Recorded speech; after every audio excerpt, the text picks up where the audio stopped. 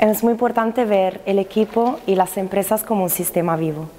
Y desde esta mirada y desde la mirada de que todo está en transformación y que cada sistema está formado por personas, es posible lograr los cambios de una manera mucho más sostenible en el tiempo. Porque de hecho la mirada sistémica lo que permite hacer dentro de una organización es trabajar realmente creando espacios de confianza y para que las personas y el equipo puedan eh, lograr el máximo potencial. Entonces esa es un poco la idea que, yo trabajo y que hoy eh, traje Imagine, gracias también a mi experiencia como Dreamer. Muchas veces las empresas se desconectan desde los valores individuales, porque hay unos valores de las empresas que están colgados en las paredes, pero es que realmente no se llevan al día a día, a la práctica eh, y sobre todo que no conectan con las personas. Con lo cual aquí el proceso es al revés, es desde las personas cuáles son mis valores bases y desde ahí que puedo aportar a la empresa y con cuáles valores de la empresa, por qué trabajo aquí o por qué estoy en Imagine y no estoy en otro programa, qué es que me conecta con, con el programa de Imagine, cuáles son mis fortalezas y, y, las potencialidades que yo puedo llevar.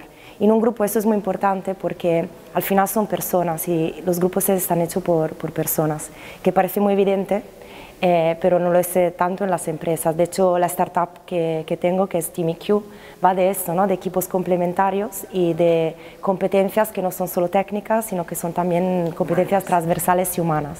Entonces, cuando el equipo consigue mirarse como personas y conseguimos llevar eh, lo que realmente tenemos dentro, creo que es importante para nosotros, y lo podemos compartir, y desde ahí empieza el trabajo, tiene muchísima más fuerza y la pasión y los resultados pueden ser multiplicados por 100. Está claro que no somos todos iguales, está claro que hay personas que tienen rasgo más de líderes eh, y otras personas quizás no, pero como en un equipo de fútbol no podemos ser todos Messi. Un equipo que tiene todos Messi es un equipo que no va a ganar. Es una paradoja, porque a veces en las organizaciones se busca solo a Messi y no es así. Tiene que estar Valdés, tiene que estar eh, Xavi, tiene que estar todo el equipo eh, en el conjunto.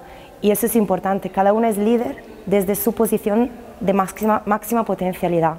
Y la posición de máxima potencialidad dentro de un equipo es la donde nosotros podemos aportar más y no es igual para todos. Y desde ahí todos somos líderes. Y ahora está claro que el equipo mismo luego escoge el que desde fuera puede parecer el líder, que es quizás el portavoz, el que también eh, tiene la capacidad decisional, porque a veces hay gente que tiene capacidad decisional y gente que no quiere tomar decisiones, que es más operativo. Y reconocer estas distintas eh, funciones y estas distintas potencialidades dentro del grupo ayuda muchísimo.